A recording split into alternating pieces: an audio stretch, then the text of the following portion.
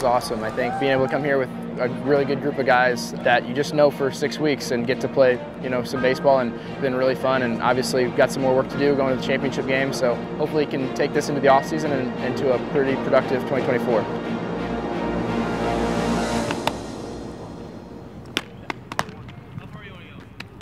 Los, how we doing? What's up, baby? Beautifully. Beautifully. ¿Pero qué, papi? ¿Estamos activos? Got something to say? Activo, activo, activo. Ortiz, I need translator. Activo? she ready, that's oh, it. I'm ready. I'm ready. You ready? Ready? There she is. One, as, as a person, I think he's just an incredibly positive presence to have in the clubhouse. He's the same guy every day. He brings the same presence every day. He's positive every day. As a player, I was joking with the Blue Jays guys. He's, he's almost like the poster child of, of, of how, you know, the Blue Jays want to play. It seems that he unlocked some things halfway through the year in, in 2023, and it's just been nice to see him um, carry those things into the league and, you know, be an all-star. Baseball's a game of adjustments. You series to series, game to game, you're always trying to you know fine tune um, your your skill set. And I think you know luckily you know midway through the year made some adjustments that I think you know helped me to you know get over the hump a little bit. And from I think roughly June on, if you look at his numbers and isolate in that, he had as good, if not the best second half of probably anybody in our system. So wanted to give an opportunity to keep, doing it against advanced competition and you know really really pumped for him that it's going well so far. As this one's driven deep into right. Jace Brown going back near the wall, looking up. That one is out of the berm.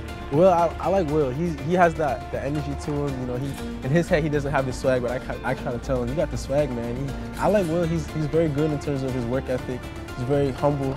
I would say I'm very very tense human being. I can be pretty uh, intense at times, but uh, underneath I'm just a small town country country boy that is pretty simple. Working with him in the outfield, he's very he communicates a lot. He trusts me, I trust him, and it kind of works. As it rolls back towards the infield, and now Jacob digging for third. Throw is there on the bag.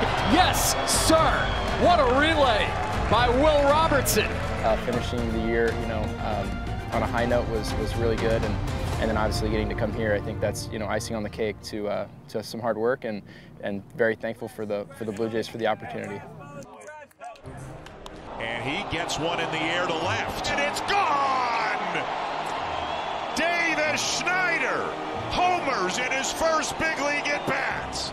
Getting to see Davis and Spencer make their debuts, um, obviously good friends with them. To watch them do that, I think that kind of revives your your confidence in that you know you can you can do this. You're not you're not that far away. I mean, dreamt that since I've been three years old, uh, playing in the backyard with with different uniforms on. So yeah, just knowing that getting to put on the Blue Jays jersey even tonight, um, it's a it's a cool it's a cool feeling.